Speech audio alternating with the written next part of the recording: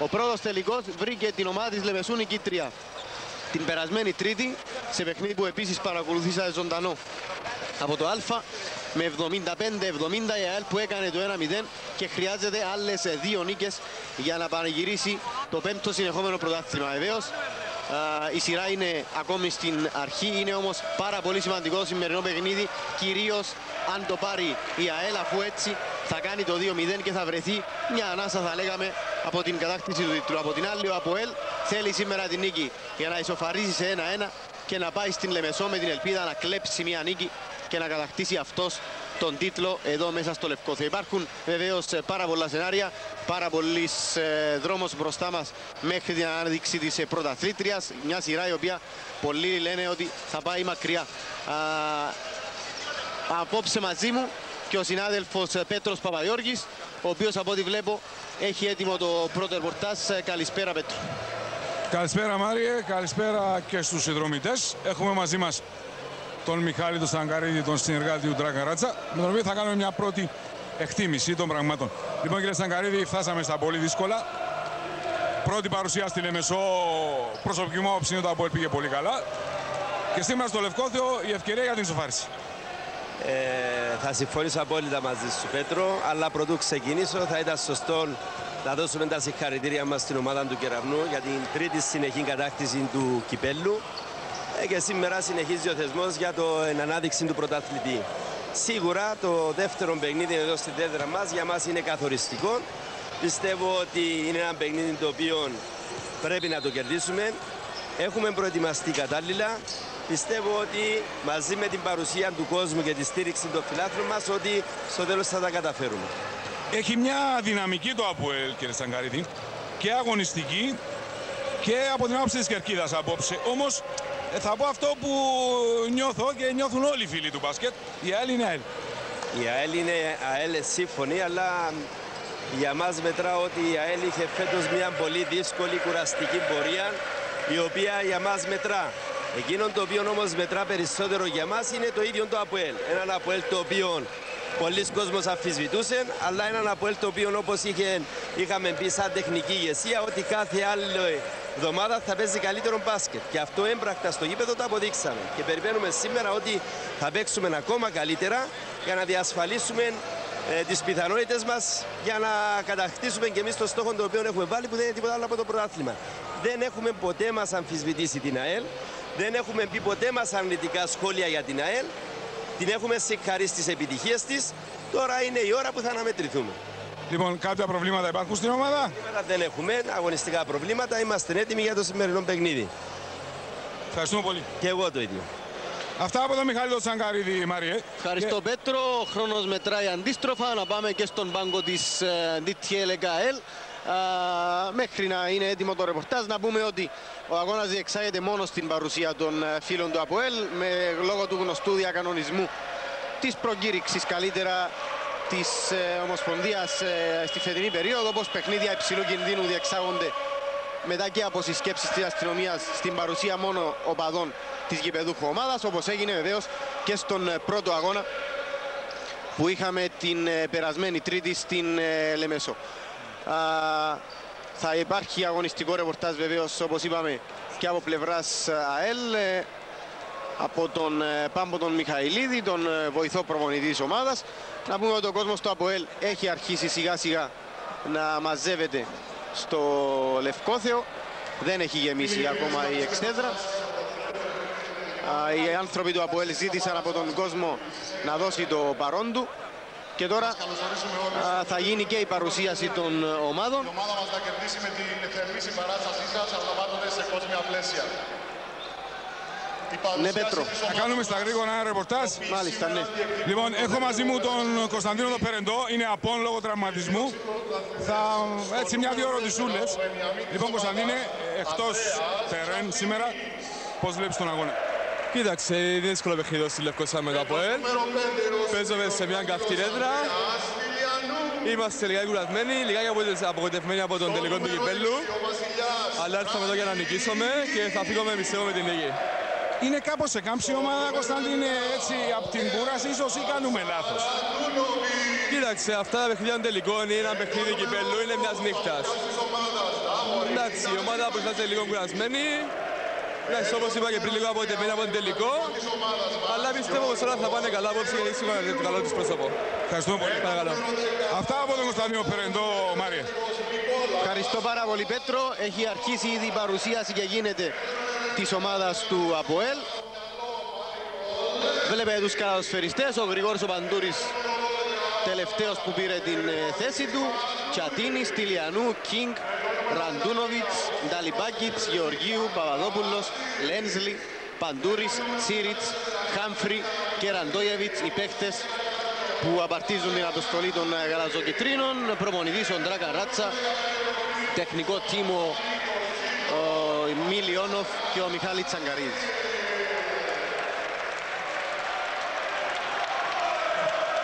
Βλέπετε εδώ τον ε, Ντράκα Ράτσα, ο οποίος αντιμετωπίζει στον τελικό μια ομάδα με την οποία κέρδισε τρία συνεχόμενα πρωταθλήματα. Μαζί του ο πρωταθλητής ο Τίγρο Μπράκα. Και τώρα η παρουσίαση του τεχνικού του ΑΠΟΕΛ. Να πούμε φίλες και φίλοι, να επαναλάβουμε ότι ο πρώτος αγώνας πήγε στην ΑΕΛ με 75-70 η DTL ΚΑΕΛ η οποία χρειάζεται απόψε και θέλει να πετύχει την ε, δεύτερη νίκη για να πάει την, ε, στο επόμενο παιχνίδι την ερχόμενη Παρασκευή και να καθαρίσει την υπόθεση τίτλου. Πεντάδα για τον Αποέλ, Κίνγκ, Ραντούνοβιτς, Λένσλι, Χάμφρι και Ραντόγεβιτς και για την ομάδα της DTL ΚΑΕΛ επίσης πέντε ξένοι αυτό δεν μας ε, πολύ αρέσει, αλλά πρέπει να το δεχτούμε. Κίνγκ, Άλεξιτς, Ράντολ, Ρόμπερτς και Φάντε Χαρέ. Δεν μας αρέσει βεβαίως καθαρά ομιλώντες από την ε, πλευρά του ουδέτερου που θέλει να βλέπει Κύπριους ε, να αγωνίζονται. Όμως έτσι έχουν τα πράγματα σήμερα. Όχι στο Κυπριακό, στο Ευρωπαϊκό μπάσκετ υπάρχουν και απόντες. Τουλάχιστον δύο Κύπροι είναι απόντες από πλευράς ΑΕΛ. Ο Περεντός και ο Παλάλας. Ο Γιώργος ο Παλάλας, ο οποίος κάθεται στον πάγκο αλλά δεν μπορεί να δώσει το παρόν του. Είδαμε λίγο και τον Γιώργο τον Χρυσοστόμου, τον πρόεδρο της Ομοσπονδίας. Τόσο ο ίδιος όσο και ο Παλάλας γιόρταζαν χθες, να εδώ. Ο Γιώργος ο Παλάλας, να τους ευχηθούμε βεβαίως ε, χρόνια πολλά για την ονομαστική του εορτή. Πέτρο, ε, ενώ μπήκαμε στην αντίστροφη μέτρηση για την έναρξη του αγώνα και στις δικές σου εκτιμήσεις για τον ε, σημερινό τελικό, σίγουρα πολύ πιο διαφορετικά τα πράγματα από ό,τι στο LTV Νίκος Σολομονίδης και για την ΑΕΛ και για τον ΑΠΟΕΛ. Όντως είναι πολύ διαφορετικά τα πράγματα. Κρίνοντας από το παιχνίδι που είδαμε ε, στη Λεμεσό, οι εκτιμήσεις αναφέρουν ότι θα δούμε ένα παιχνίδι το οποίο θα κρυθεί πολύ δύσκολα. Είδαμε ένα ΑΠΟΕΛ ε, πολύ καλά στημένο στο αγωνιστικό χώρο, με καλή δυναμική. Αυτά που έλεγε ο Τράκα Ράτσα στην αρχή ότι η ομάδα του θα στηθεί για τους τελικούς γίνονται πραγματικότητα. Είδα ένα πολύ ρωμαλαίο Αποέλ. Από την άλλη μια ΑΕΛ η οποία έχει χάσει και στον τελικό του κυπελού. Βλέπουμε μια κάμψη στην ΑΕΛ. Αυτό είναι γεγονός. Είναι λόγω της κούρασης. Όμως η ΑΕΛ είναι μια ομάδα που δύσκολα χάνει ισορροπίες, δύσκολα χάνει τον έλεγχο μέσα στο παιχνίδι και σε οποιαδήποτε έδρα μπορεί να πάρει αποτέλεσμα. Αυτά τα είδαμε και στην Ευρώπη πολλάκις. Άρα είναι ένα παιχνίδι το οποίο θεωρώ ότι είναι στην πλάστιγκα και είναι σίγουρα το πιο καθοριστικό παιχνίδι.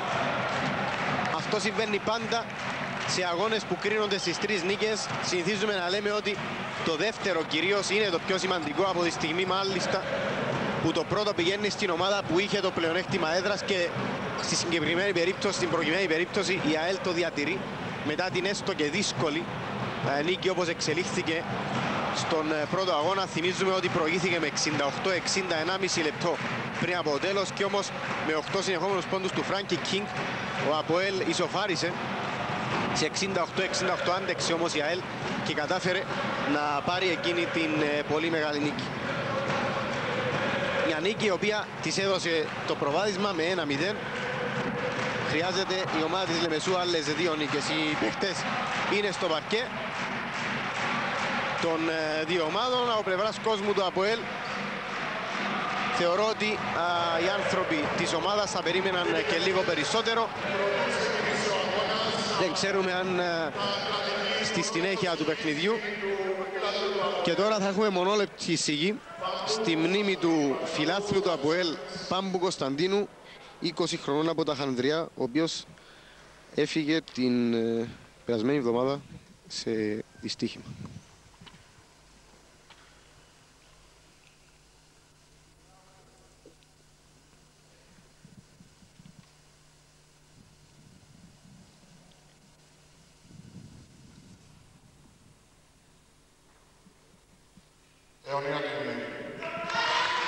Αιωνία του η μνήμη.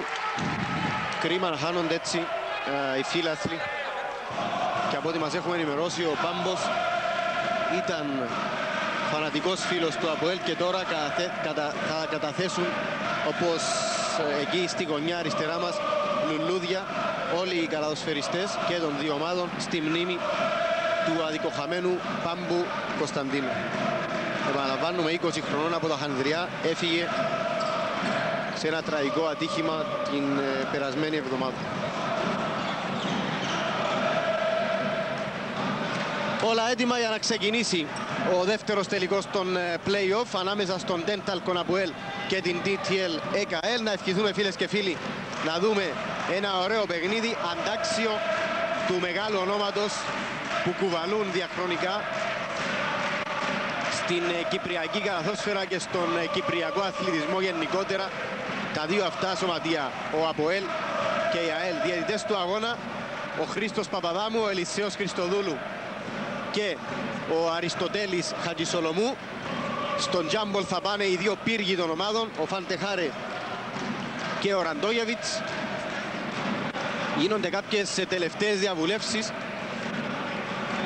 και κάποιες συστάσεις προς τον uh, κόσμο του Αποέλ από τους ε, παράγονται. Όλα έτοιμα και ξεκινάει το παιχνίδι με τους ε, γαλαζοκίτρινους της Λευκοσίας υπό τις ε, ζητοκραυγές του κόσμου τους και τα τραγούδια να οργανώνουν την πρώτη επίθεση. Λένσλι στον Ραντόγεβιτς. Πρώτη μάχη ανάμεσα στο Ραντόγεβιτς και Φάντε Χάρε. Ο Ραντόγεβιτς θα βγει νικητής 2-0. Προβάδισμα για την ομάδα του Αποέλ. Μάικ Κίνγκ. και θεωρώ Πέτρο ότι το σενάριο αυτό με την μπάλα να πηγαίνει κάτω από τα καλάθια είναι, είναι ένα σενάριο το οποίο θα βλέπουμε αρκετά συχνά τουλάχιστον στο ξεκίνημα της αναμέτρησης. Για να το δούμε. Θεωρώ και εγώ ότι έτσι είναι τα πράγματα. Αλλά περιμένουμε.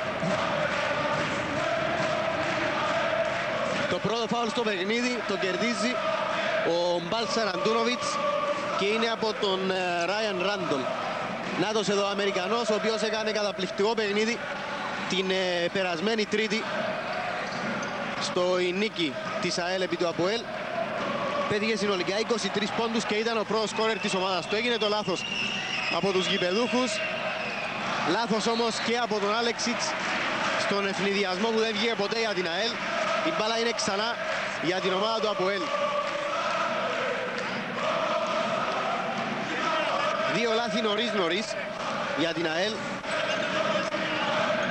Ένας τομέας ο οποίος έχει πληγώσει την ΑΕΛ στις περισσότερες από τις λιγοστές έστω. Φετινές ήττες της εδώ. Ο Χάμφρι κάνει κάτι το οποίο έκανε συχνά και στο πρώτο παιχνίδι. Στο ένας εναντίον ενός είναι πιο α, αθλητικός από τον Ράντολ και τον κερδίζει 4-0 για το Αποέλ και πρώτο φάουλ για τους ε, γηπεδούχους από τον ε, Μπάλσια Ραντούνοβιτς, τον Μιλουτίν Αλεξίτς.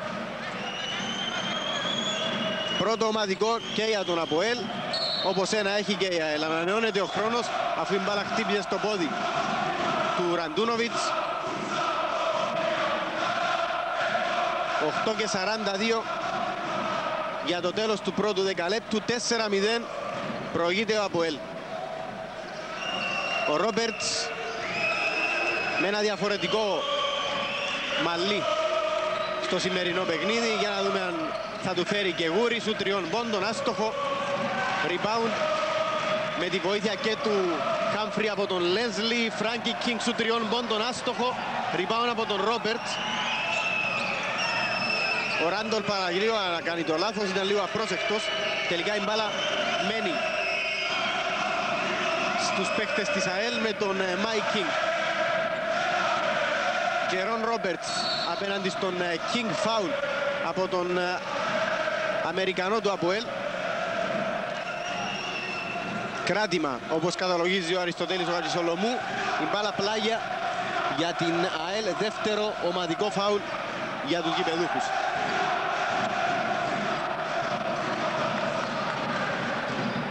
Ο Άλεξης στον Ράντολ και ξανά στον Σέρβο.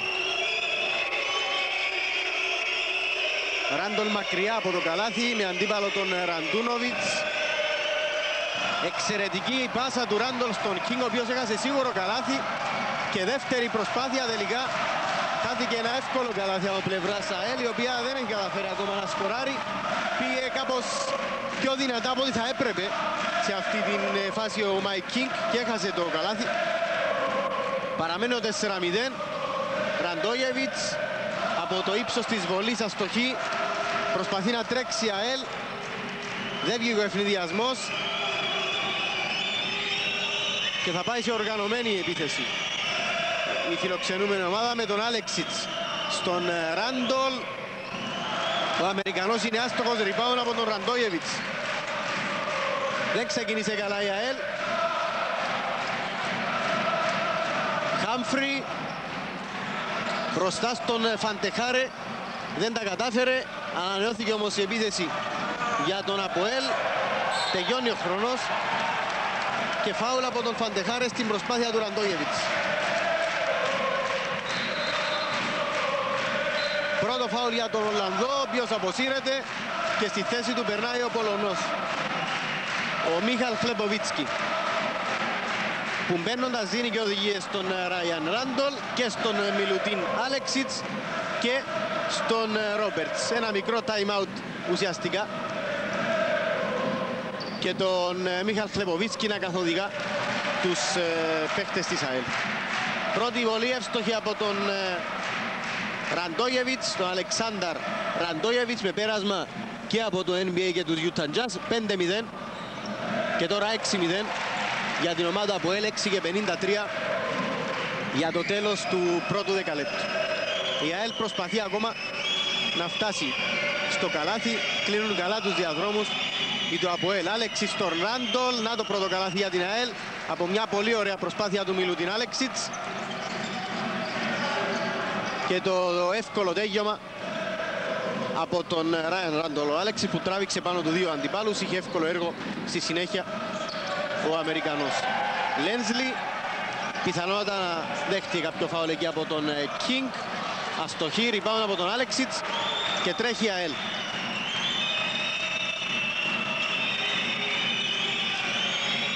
screen στον Ρόμπερτς ε, από τον ε, Χλεποβίτσκι. Ρόμπερτς πάει ένας εναντίον όλων και χάνει την προσπάθεια. Συνεχίζει όμως να έχει την μπάλα στην κατοχή του. Τελειώνει ο χρόνος της επίθεσης του τριών πόντων από τον Χλεποβίτσκι. Άστοχο ριμπάουν από τον Λένσλι. Χάμφρι με αντίπαλο τον ε, Χλεποβίτσκι. Ο κύριος Παπαδάμου καταλογίζει φάουλ στον Πολωνό. Πρώτο και για αυτόν, τρίτο ομαδικό για την ΑΕΛ, δύο για την ομάδα του Αποέλ. Και το πρώτο time out στο παιχνίδι είναι από τον Ίκορ Μικλίνιεξ, ο οποίος βλέπει την ομάδα του α, να μην ε, μπορεί να φτάσει εύκολα στο αντίπαλο καλάθι και θα δώσει σίγουρα ε, οδηγίες επιθετικής φύσεως. Πάμε και εμείς σε κάποια μηνύματα, μείνετε μαζί μας.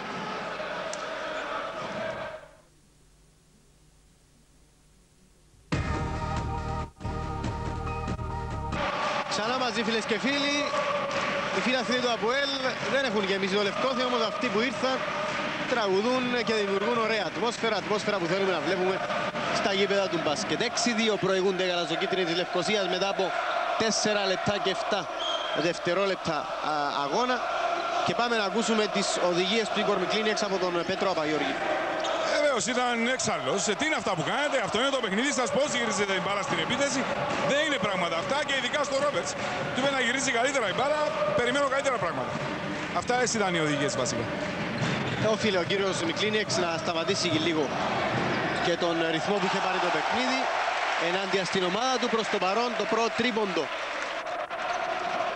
στον ε, δεύτερο τελικό των play-off Είναι για τον Αποέλ και είναι για τον Ραντούνοβιτς. Απαντάει αμέσως ο Ράντολ. Με αυτό το γρήγορο κατέβασμα της μπάλας. 9-4. Το Αποέλ που έχει το προβάδισμα από την αρχή του παιχνιδιού. Η διαφορά προηγουμένως είχε ανέβει στους 7 ε, ήταν η μεγαλύτερη. Αστοχή ο Ραντόγεβης στο φόλο από το σούτ του Χάμφρι και επίθεση για την ΑΕΛ. Με τον Άλεξιτς να κατεβάζει, είναι γνωστά τα προβλήματα της ΑΕΛ στον Άσο από τη στιγμή που απουσιάζει ο Γιώργος Οπαλάλας.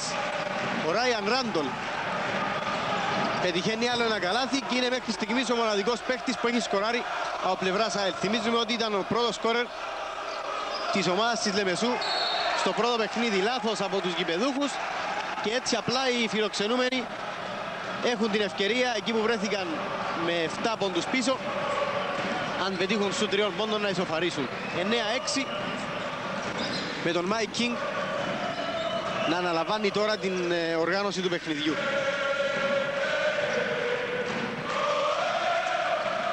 Άλεξιτς στον Ράντολ, πανομοιότυπη η φάση με το πρώτο καλάθι της ΑΕΛ. Δεν τα καταφέρνει αυτή τη φορά ο Αμερικανός. Έκλεψε την μπάλα ο Λένσλι, ο οποίος τώρα πήρε και το σκριν από τον Ραντόγεβιτς. Σου τριών πόντων, άστοχο, την μπάλα μέσα και έξω. Ριπάουν από τον Ράντολ. Και τρέχει η ΑΕΛ. Ο Κίνγκ σταματάει και σουτάρει για τρεις. Αστοχή, rebound και πάλι από τον Λένσλι. Βιαστικές επιθέσεις και από τις δύο ομάδες.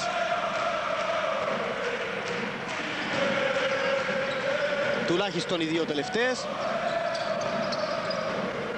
Ο Φράνκι Κίνγκ σε σουτ τριών πόντων έμεινε ακάλυπτος, δεν τα καταφέρνει. Πήρε το rebound ο Ρόμπερτς. Ο Μάικ Κίνγκ στην άλλη πλευρά. Καλός ρυθμός μέχρι στιγμής, δεν έχουμε δει πολλά φάουλ, μόλις πέντε συνολικά.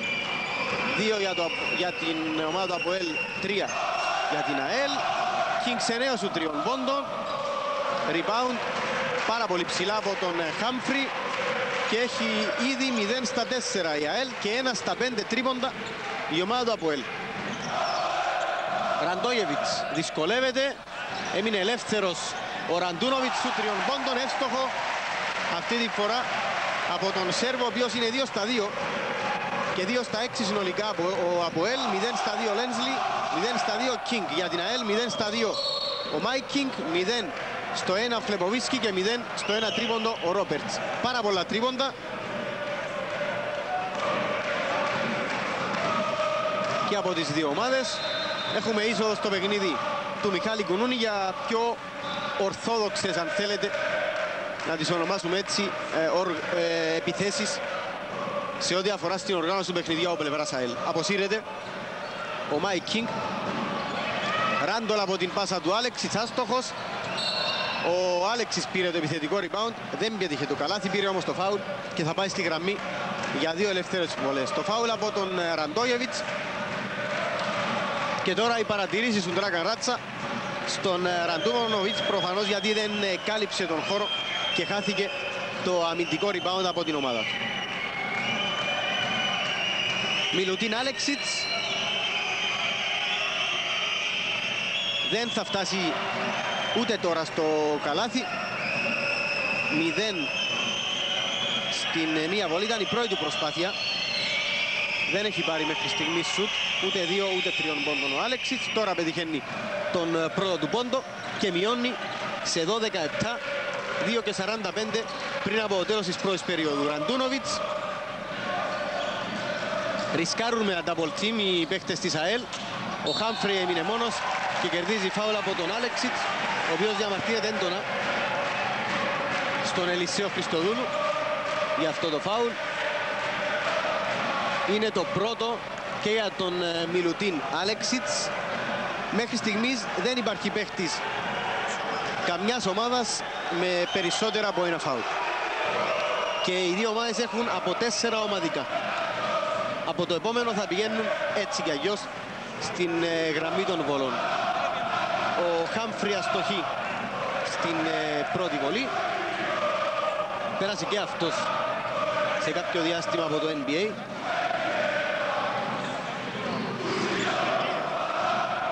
0 στις 2 σε αυτό το ταξίδι, όμως πιο ψηλά από όλους πήρε το επιθετικό rebound.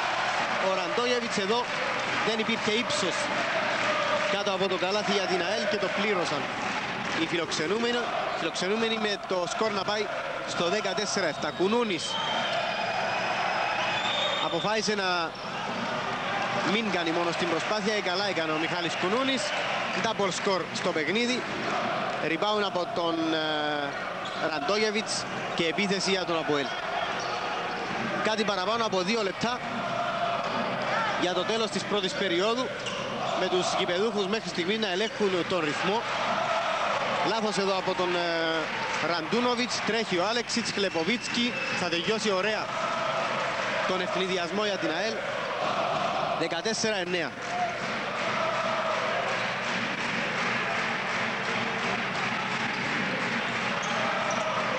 Ραντόγεβιτς μακριά από τον καλάθι.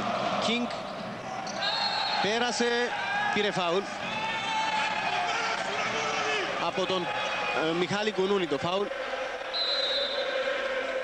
Και θα είναι βεβαίως ε, ελεύθερες βολές αφού έχουν συμπληρωθεί τα πέντε ομαδικά. Φεύγει ο Μιλουτίν Άλεξιτς. Πέρασε στο παιχνίδι ξανά ο Μάικ Κίνγκ για την ΑΕΛ. Τους 14 πόντους του ΑΠΟΕΛ έχουν πετύχει 6 ο Ραντόγεβιτς, 6 ο Ραντούνοβιτς και 2 ο Χάμφρι. Τρεις παίχτες έχουν σκοράρει. Τώρα αν βάλει μία από τις δύο βολές ο Κίνγκ πετυχαίνει την πρώτη. Βάζει και αυτό στο όνομα του στους σκόρερ. 15-9. Τους 9 της ΑΕΛ έχουν πετύχει 6 ο Ράντολ, τους πρώτους 6. 2 ο Χλεποβίτσκι και έναν ο Μιλουτίν Άλεξιτς. Ο Φράνκι Κίνγκ ευστοχεί και στις δύο βολές. Ο Κίνγκ ο οποίος άργησε να, να πάρει μπρος στο πρώτο παιχνίδι. Είχε μια σχετικά ήσυχη παρουσία. Στο φινάλε όμως λίγο έλειψε να κερδίσει μόνος του το παιχνίδι για τον Αποέλ με εκείνους τους 8 συνεχόμενους πόντους. Τέλειωσε το αγώνα στους 15 πόντους με 3 συνολικά τρίποντα. 16-9 έχει πάει το σκορ. Η διαφορά των 7 είναι η μεγαλύτερη για τον Αποέλ στο παιχνίδι. Τρεις φορές έχει πάρει αυτή η διαφορά η γηπεδούχος ομάδα. Παραλίγο το λάθος. Παραλίγο και δεύτερο συνεχόμενο λάθος από πλευράς Αποέλ. Και τώρα να που γίνεται στην ε, τρίτη φορά από τον ε, Ραντόγεβιτς και τον Ραντούνοβιτς. Νέα αλλαγή για την ΑΕΛ, ανακατεύει συνεχώς την τράμπουλα ο Ιγκορ Μικλίνιεξ. Βάζει ύψος αυτή η φορά στο παιχνίδι και περνάει τον ε, Φαντεχάρε αντί του Ράντολ αφού φαίνεται να υπερέχει σε αυτό το ξεκίνημα του παιχνιδιού ο Ραντόγεβιτς κάτω από το καλάθι. Φαντεχάρες στον Κουνούνι.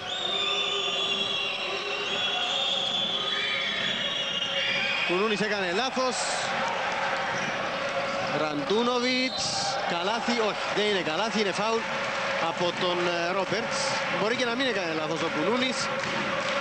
Ο Φαντεχάρε δεν ε, αντιλήφθηκε ίσως την πάσα του. Και στη συνέχεια το φάουλ από τον ε, Ρόπερτς στον Μπάλσια Ραντούνοβιτς. Πρώτος σκόρερ μέχρι στιγμής του Αποέλ με 6 πόντους μαζί με τον Ραντόγεβιτς. Ο Μπάλτσο Ραντούνοβιτς που έχει την ευκαιρία τώρα να αυξήσει την διαφορά στο σκορ για τον Αποέλ. Δεν τα καταφέρνει στην πρώτη προσπάθεια. Ραντούνοβιτς με 14 πόντους στον πρώτο τελικό και ένα τρίποντο. Απόψε έχει ήδη δύο τρίποντα.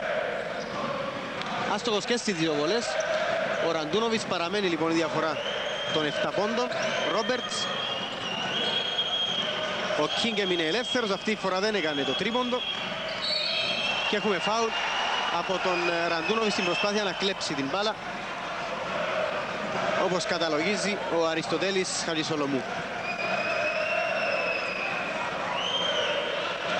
Δεύτερο φάουλ για τον Μπάλσια Ραντούνοβιτς και είναι ο πρώτος παίχτης στο παιχνίδι ο οποίος φτάνει τα δύο φάουλ. Μάικ Κίνγκ θα πάει στη γραμμή αφού έχουν συμπληρωθεί τα ομαδικά φάουλ και από τις ε, δύο ομάδες.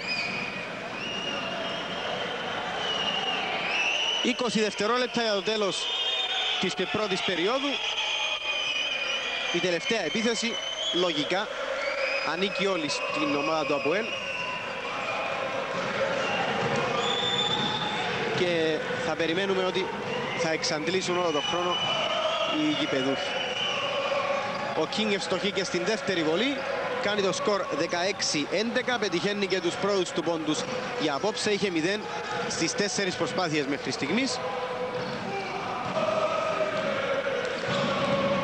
Λένσλι. Δεν θα καταφέρει. Υπάρχει χρόνος για μια επίθεση και για την ΑΕΛ. Κίνγκ. Βήματα. Καταλογίζει ο Ελισίος Χριστοδούλου. 2,6 δευτερόλεπτα έχει ο Αποέλ για να κάνει σουτ και έχουμε time out το οποίο ζητάει ο Ντράκα Ράτσα για να σχεδιάσει αυτή την τελευταία επίθεση για την ομάδα του. Επαναλαμβάνουμε 2,6 δευτερόλεπτα για το τέλος της πρώτης περίοδου. Μείνετε μαζί μας.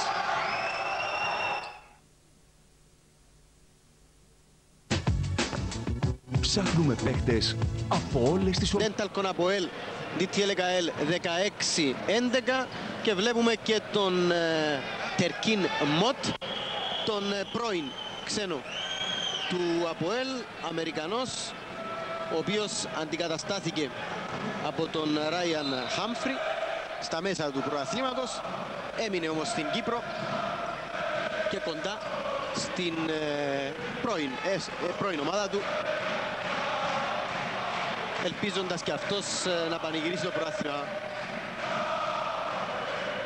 2,6 δευτερόλεπτα για το τέλος του πρώτου δεκαλέπτου και για να δούμε τι επίθεση θα βγει από πλευράς Αποέλ. Θα έχουμε μακρινή πάσα στον ε, Παντούρη, δεν κύλησε σχεδόν καθόλου χρόνος. Έχει κάτι παραπάνω από δύο δευτερόλεπτα η ΑΕΛ για να κάνει επίθεση και μάλιστα στο καλάθι στο οποίο επιτίθεται. Ευκαιρία λοιπόν εδώ για την ε, φιλοξενούμενη ομάδα να μειώσει. Υπάρχουν διαμαρτυρίες για το σκορ. Υπάρχουν διαμαρτυρίες για το σκορ από τον πάγκο του Αποέλ λένε ότι είναι 16 11 το σκορ και έτσι είναι, δεν είναι 16-13 το καλάθι του King δεν, ε, δεν μέτρησε, υπήρχαν βήματα στο καλάθι του Mike King. Και τώρα διορθώθηκε το σκορ. Έγινε λάθος από την ε, γραμματεία. Λοιπόν υπάρχουν 2,1 δευτερόλεπτα για το τέλος του πρώτου δεκαλέπτου. Τώρα δίνονται εξηγήσεις και στον πάγκο της ΑΕΛ για το α, καλάθι που δεν μετρήσε βεβαίως του Κίνγκ αφού υπήρχαν βήματα στη συγκεκριμένη φάση. Πολύ κακό νομίζω Πέτρο για το τίποτε έτσι. Είναι για να επιστρέψει λίγο πίσω το χρονόμετρο. Υπάρχει μια διαφορά στο χρόνο. Έχω την εντύπωση ότι δεν είχε κυλήσει χρόνος. Τέλος πάντων το παιχνίδι ετοιμάζεται να επαναρχίσει. Τρίποντο από τον Κλεποβίσκι άστοχο. Και τέλος τώρα της πρώτης περίοδου με το σκορ στο 16-11 για την ομάδα του ΑΠΟΕΛ. Ένα παιχνίδι το οποίο ξεκίνησε καλά. Στη συνέχεια οι δύο ομάδες έπαιξαν άμυνα. Φαίνεται να παίζει καλύτερη άμυνα ο Αποέλ, έχοντας δεχτεί μόλις 11 πόντους. 16 ε, έχει σκοράρει, 16-11 το σκορ της πρώτης περίοδου. Φίλες και φίλοι, μείνετε μαζί μας, θα επανέλθουμε σε λίγο για το δεύτερο δεκαλέπτο.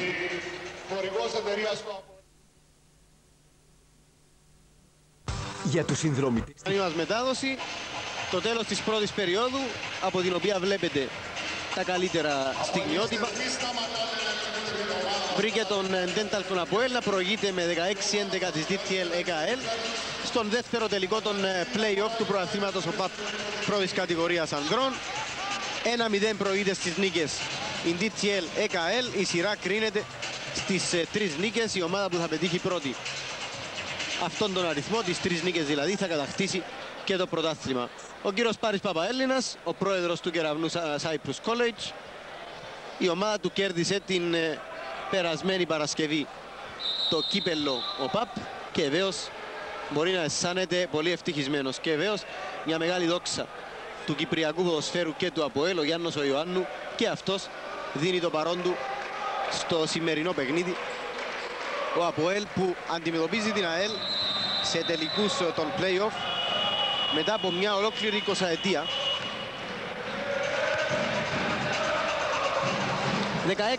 16-11 το σκορ στο πρώτο δεκάλεπτο. Έχουμε στο παιχνίδι από τα τελευταία στάδια του πρώτου δεκαλέπτου και τον Γρηγόρη Παντούρια ο πλευράς από Έλενο.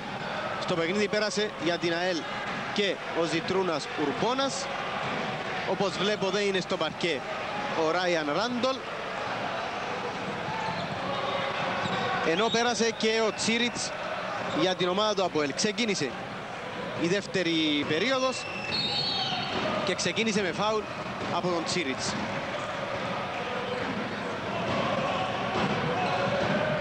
Η μπάλα απ' έξω για την ΑΕΛ.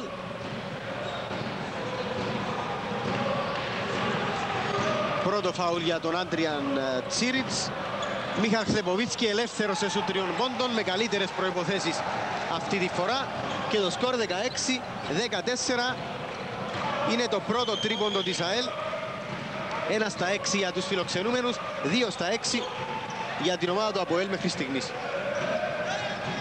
Φράνκι Κίνγκ απέφυγε τον ε, Μιχάλη Κουνούνη και ευστοχή. 18-14. Και τι έχουμε εδώ, έχουμε παρατηρήσεις στον Ουρμπόνας και στον ε, Χάμφρι για να ηρεμήσουν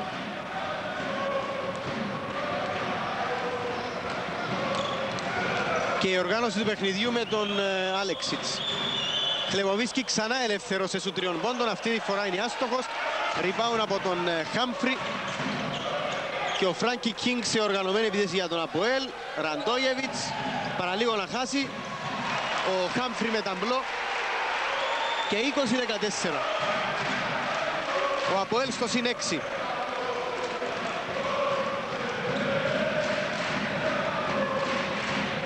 Άλεξιτς.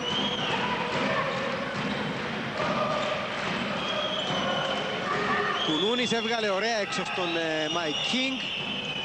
Ήταν καλές οι προϋποθέσεις για αυτή την προσπάθεια του Κίνγκ. Ήταν όμως άστοχος ο Αμερικανός, ο οποίος έχει 0 στα 5 σουτ μέχρι στιγμής.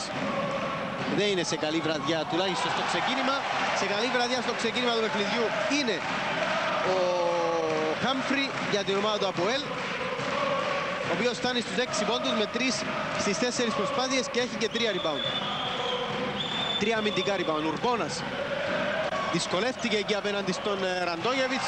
Άλλο ένα rebound από τον ε, Χάμφρι και ο Φράνκι Κίνγκ. Στον Τσίριτς υπάρχει φάουλ από τον Ουρμπόνας αφού υπήρχε σοβαρό mismatch κάτω από το καλάθι με αντίπαλο τον Ραντόγεβιτς. Ο Κλεποβίτσκι είχε μείνει μακριά σε εκείνη την διεκδίκηση του rebound με τον Χάμφρι και τώρα θα φύγει από το παιχνίδι ο Πολωνός για να περάσει ξανά ο Ράιαν Ράντολ. Κίνγκ ελεύθερος σου τριών πόντων άστοχος. Μάχη για το rebound το οποίο θα πάει που; Στα χέρια του Μπαντούρη. Και τελικά έχουμε φάουλ από τον Κουνούνη που καταλογίζει ο Λυσίος Χριστοδούλου. Για να δούμε ξανά αυτή την φάση. Έπεσε με αυτοθυσία ο Μιχάλης ο Κουνούνης.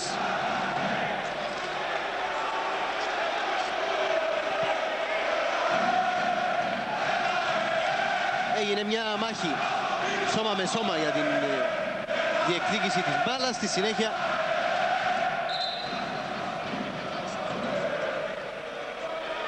Για να δούμε εδώ. Από τα χέρια του Μιχάλη του Κουνούνη έφυγε σίγουρα η μπάλα. Το ερώτημα είναι κατά πόσο υπήρχε φάουλ. Θα μπορούσαν να άφηναν την φάση οι διαιτητές. Τσίριτς του τριών πόντων. Είναι εύστοχος. 25-14 ο Αποέλ στο συν 11 και είναι η μεγαλύτερη διαφορά για τους γαλαζοκίτρινους μέχρι στιγμής στο παιχνίδι για τους γαλαζοκίτρινους της Λευκοσίας γιατί οι γαλαζοκίτρινοι είναι και οι δύο Κουνούνης σε ένα εύκολο lay-up από τη στιγμή που του άφησαν χώρο οι γηπεδούχοι 25-16 από τους ε, πρώτους πόντους στο παιχνίδι του Μιχάλη Κουνούνη. King στον ε, Χάμφρι. Δεν θα τα καταφέρει απέναντι στον Ουρμπόνας. Ριμπάουν από τον King, τον Μάι King. Ο Μιλουτίν Άλεξιτς στον Ουρμπόνα σου τριών πόντων. Εύστοχος ο Λιθουανός 25-19. Να το 5-0 σερί για την ΑΕΛ. Και η διαφορά ξανά στους 6.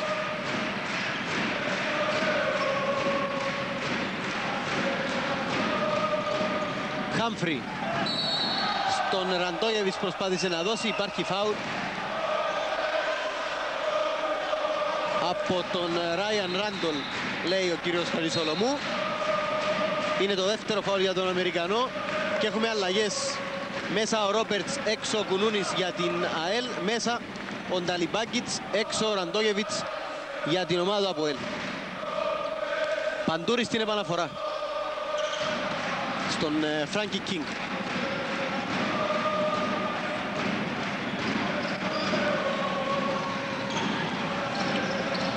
Δεν έκανε το σου τριών πόντων, αν και το σκέφτηκε. Ο Κίνγκ λιγοστεύει σιγά σιγά ο χρόνος της επίθεσης για την ομάδα του ΑΠΟΕΛ. Την μπάλα παραμένει στα χέρια των γαλαζοκυτρίνων με μόλις 5 δευτερόλεπτα για την εκδήλωση της επίθεσης. 6 και 19 για το τέλος του πρώτου ημιχρόνου. 25-19 το σκορ για το ΑΠΟΕΛ Παντούρη σου τριών πόντων άστοχο και έχουμε φάουλ από τον Χάμφρι στην διεκδίκηση του rebound ο Αμερικανός που υποτικά και σωστά παραδέχεται το φάουλ του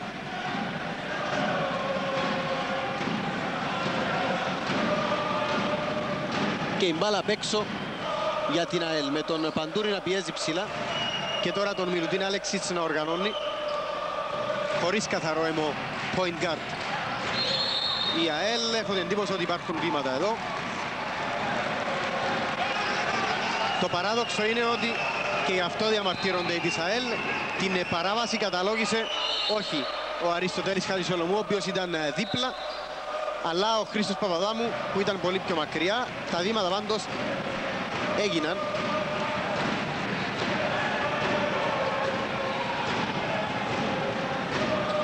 «25-19, 6 λεπτά ακριβώς για το τέλος του πρώτου μικρόνου. Σταθερά διατηρεί το προβάδισμα η γηπεδούχος ομάδα του Αποέλ τσίριτσες σου δύο πόντων, αστοχή. Η μπάλα ήρθε και βρήκε τον ε, Ράντον. Άλεξιτς, μόνος εναντίον όλος με ταμπλό.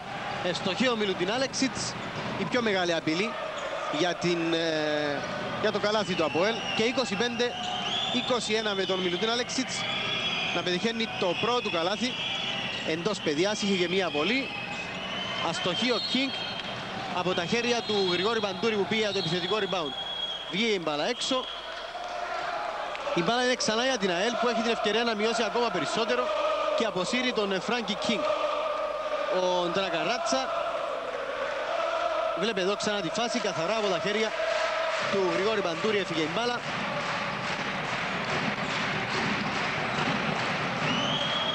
Αργά αλλά σταθερά μείωσε η ΑΕΛ είχε μείνει πίσω με 11 πόντους, 25-14 και τώρα με ένα σερί 7-0 έχει μειώσει στους 4, 25-21. Λάθος όμως από την φιλοξενούμενη ομάδα. Και η μπάλα ξανά για τον Αποέλ.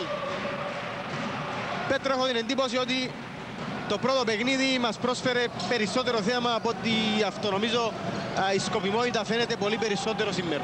Ναι, από πλευράς θεάματος ναι, αλλά από πλευράς ε, έτσι παιχνιδιού μπασκετικά θα έλεγα είναι περίπου τα ίδια πράγματα. Είναι πολύ καλό παιχνίδι, ένα Αποέλ με εξαιρετική άμυνα. Έχει καταφέρει να σταματήσει τις ε, εκδηλώσεις επιθέσεων της ΑΕΛ. Ο Άλεξης δεν έχει πολλή δραστηριότητα, όπως μας συνηθίζει και καταφέρνει με καλές επιθετικές προσπάθειες να ελευθερώνεται στα ζού της περιφέρειας. Επίσης κάνει πάρα πολύ καλή δουλειά ο Χάμφρι. Ένας αθόριος παίκτης, ε, όμως εξαιρετικός σε προσφορά.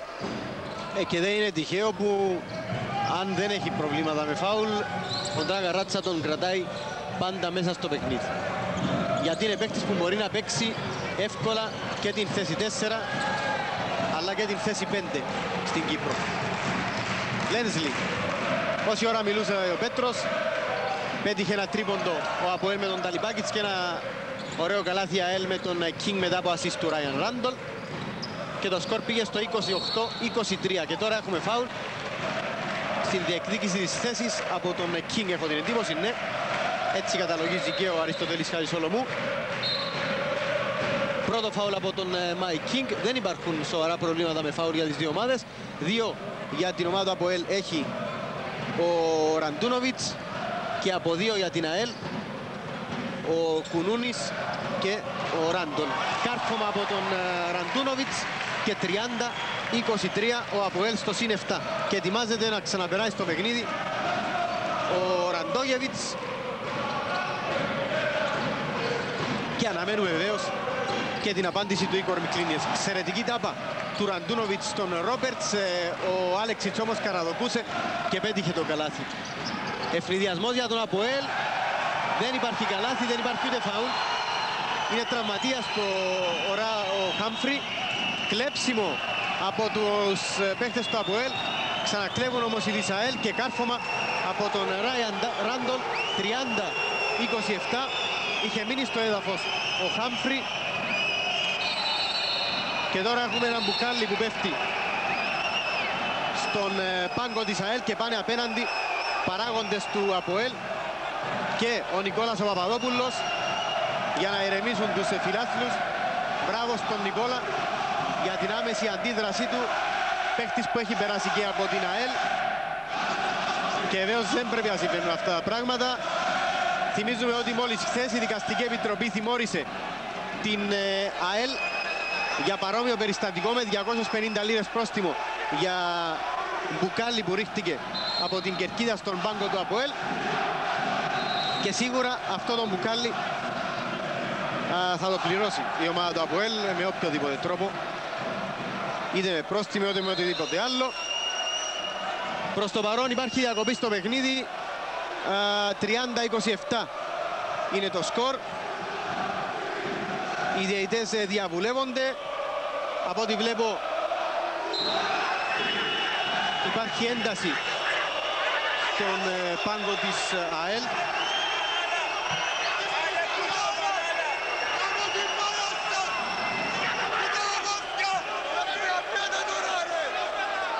Βλέπετε τις διαμαρτυρίες και του Ντραγκαράτσα και του Ίγκορ Μικλίνιεξ.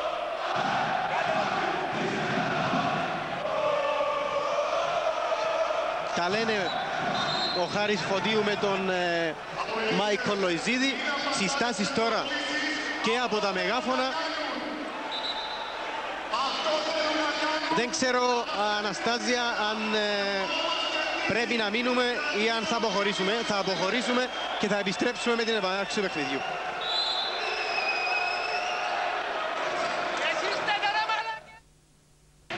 Ελπίζουμε από τώρα και στο εξής να περιγράφουμε μόνο παιχνίδι. Όση ώρα δεν ήμασταν μαζί κέρδισε απλά ένα φάουλ. Πέρασαν μόλις 2-3 ε, δευτερόλεπτα ο Λένζλι και πετυχαίνει την ε, πρώτη βολή αφού έχουν συμπληρωθεί τα πέντε ομαδικά στην ε, δεύτερη περίοδο από πλευράς ΑΕΛ. 31-27 και τώρα 32-27 από τον Μάικολ Λένζλι ο οποίος πέτυχε τους πρώτους του πόντους στο παιχνίδι με δύο στις δύο βολές. Είχε μέχρι στιγμής 0 στο ένα δίποντο και 0 στα δύο τρίποντα. Ράντολ στον Ρόμπερτς. King σουτ τριών πόντων από τον Αμερικανό. Εύστοχο 32-30. Η ΑΕΛ μειώνει στο καλάθι. Από το πρώτο εύστοχο τρίποντο του Μάικ Κίνγκ. Ένα στα τρία, τρία στα εννιά συνολικά η ΑΕΛ, τέσσερα στα έντεκα για τον Αποέλ.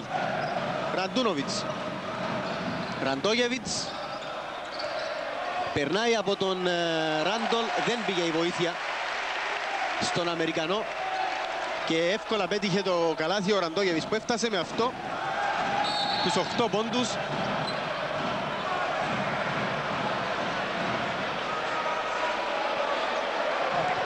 Ένα σκάλαδος στον Αχρήστο στο γήπεδο. Και εκνευρισμένος ο Χάρης Φωτίου τα λέει με τον ε, κόσμο του Αποέλ οι οποίοι το μόνο που καταφέρνουν είναι να τιμωρήσουν την ομάδα τους. Τίποτε παραπάνω, βλέπετε έξαλλος ανεβαίνει στο κυκλίδωμα και ο πρόεδρος του σωματείου, ο Γιάννος ο Ιωάννου, θα σκουπιστεί το γήπεδο για να συνεχιστεί το παιχνίδι.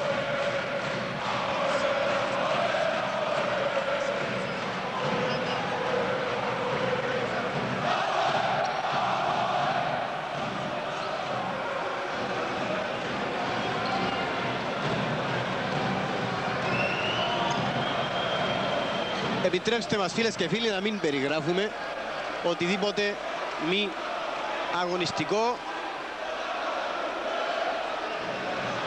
για έναν και μοναδικό λόγο γιατί δεν μας αρέσει προτιμούμε να περιγράφουμε καθαρά παιχνίδι το γήπεδο έχει σκουπιστεί το σκόρ είναι 34-30 για την ομάδα του ΑΠΟΕΛ βρήκαν την ευκαιρία στο μεταξύ οι δύο προπονητές να δώσουν κάποιες οδηγίες 2 και 14 για το τέλος του πρώτου ημιχρόνου. Και το παιχνίδι είναι έτοιμο να ξαναρχίσει. Και από ό,τι βλέπετε και έχουμε πληροφορηθεί, αποχωρεί από το γήπεδο ο πρόεδρος της ε, Ομοσπονδίας, ο Γιώργος Χρυστόμου, μαζί με την οικογένειά του.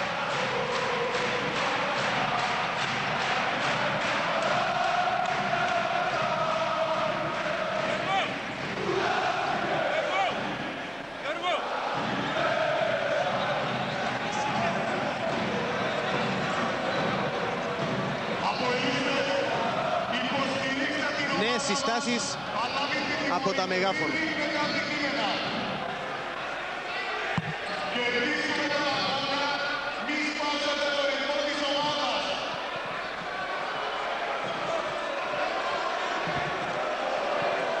Το παιχνίδι ήταν έτοιμο να ξαναρχίσει.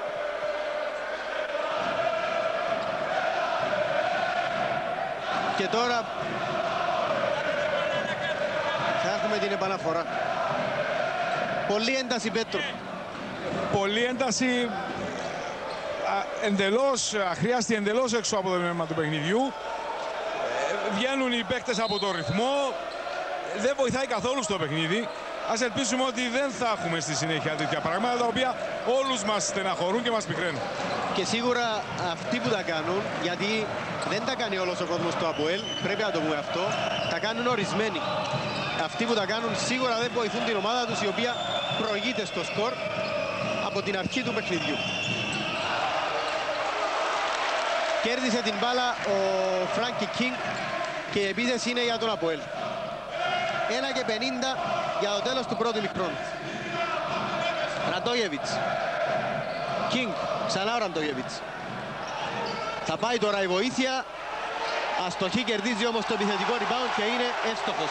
36-30 με τον ε, Αλεξάνδαρ Ραντόγεβιτς να είναι ο πρώτος παίκτης που φτάνει σε διψήφιο αριθμό πόντων στους 10 και η διαφορά ξανά στο συν 6 για τον Αποέλ. 1 και 22 για το τέλος του πρώτου ημιχρόνου.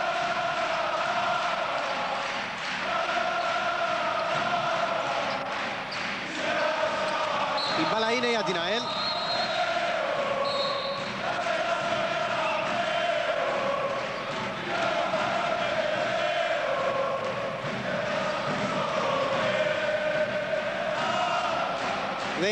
Και τα χρονόμετρα των 24 δευτερολέπτων για να μπορούμε να σας λέμε ακριβώς πόσος χρόνος απομένει για το τέλος της κάθε επίθεσης. Ολοκληρώθηκε η επίθεση και από ό,τι βλέπω ζητάει time out ο Ίκορ Μικλίνιεξ. Νομίζω χρειάζεται έτσι για να ηρεμήσουν λίγο και τα πνεύματα. Ο κόσμος του Αποέλ τώρα κάνει αυτό που πρέπει, τραγουδάει 36-30 και πάμε και εμείς σε κάποια μηνύματα και θα επιστρέψουμε σε λίγο. Dental Conapoel 36, DTL 30. Στον δεύτερο τελικό των play-off του προαθλήματος ο ΠΑΠ πρώτης κατηγορίας η ΑΕΛ προηγείται με ένα 0 στις νίκες. Ο ΑΠΟΕΛ προηγείται στο δεύτερο παιχνίδι και θέλει να εσωφαρίσει την σειρά και να πάει στην Λεμεσό. Η ομάδα του ΑΠΟΕΛ με το 1-1 και με περισσότερες πιθανότητες να φτάσει αυτή πρώτη στις τρεις νίκες που απαιτούνται για τον ε, τίτλο. 1-0-5 για το τέλος του πρώτου ημιχρόνου. Πέτρο Απαγιώργη, ε, Έλα, είπε Μαρία. ο κύριος Μικλίνιεξ; Έδωσε ιδιαίτερα επιθετικές οδηγίες με περισσότερη να τελειώνουμε με τον Άλεξιτς, οι- να τελειώσουμε με τον Άλεξιτς οι επιθέσεις που μένουν. Αν έχω καταλάβει σωστά, γιατί ήταν κοφαντικός ο θορυβός, Μαρία. Σε καταλαβαίνω πάρα πολύ καλά Πέτρο. Για να δούμε αν ε, σε αυτό το τέλος του πρώτου ημιχρόνου θα διαφοροποιηθούν τα δεδομένα. Εδώ η μπαλά είναι για την ΑΕΛ από το χέρι του Ραντούνοβιτς και είναι λογικό να πάει με τον Αλεξίτς η, η ΑΕΛ από τη στιγμή που αυτός ο παίκτης έχει δείξει ότι μπορεί στο ένας εναντίον ενός αλλά και καμιά φορά στο ένα εναντίον όλων. Το θέμα είναι ότι ο Άλεξιτς δεν μπορεί να τα κάνει και όλα απόψε.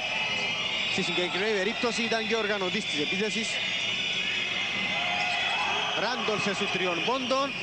Άστοχος ο Αμερικανός. Ο Κίνγκ έμεινε ελεύθερος σε σου τριών πόντων. Η μπάλα μέσα και έξω. Ο Άλεξιτς δεν τα κατάφερε. Ζητάει φάουλ. Ευνηδιασμός για τον Αποέλ. Με τον ε, Ραντόγεβιτς να μην μπορεί και η μπάλα είναι για την ΑΕΛ. Λέει ο κύριος ε, Παπαδάμου. Δυνατή η πάσα του Ραντούνοβιτς στον Ραντόγεβιτς ο οποίος δεν διαμαρτύρεται. 10 δευτερόλεπτα για το τέλος του πρώτου ημιχρόνου. 36-30 ευκαιρία να μειώσει κι άλλο η ΑΕΛ. Λάθος από τον Κίνγκ πήρε ο Ραντόγεβιτς. Ένα δευτερόλεπτο. Πετάει την μπάλα. Δεν μπορούσε ο Ραντόγεβιτς. Είναι πάρα πολύ ψηλός και πολύ αργός για να έκανε ο ίδιος την ε, προσπάθεια. Δεν τα κατάφερε. Τέλος λοιπόν του πρώτου ημιχρόνου. 36-30 το σκορ για την ε, ομάδα του ΑΠΟΕΛ με τους γηπεδούχους να έχουν το προάδισμα από το ξεκίνημα. Α, και δεν ξέρω Πέτρο αν μπορούμε να έχουμε κάποιο αγωνιστικό ρεπορτάζ. Α, αν έχει φύγει ο Πάμπος ο Μιχαηλίδης είναι εδώ ο κύριος Τσαγκαρίδης να μας πει μια κουβέντα και θα πάρουμε δηλώσεις από τον κύριο Μιχαηλίδη στο λίγο πριν ε, την έναρξη του δευτέρου χρόνου. Ε, ούτε ο Μιχάλης Τσαγκαρίδης δεν μπορεί να κάνει δηλώσεις γιατί πάει να πάρει τη στατιστική για να τη μελετήσουν.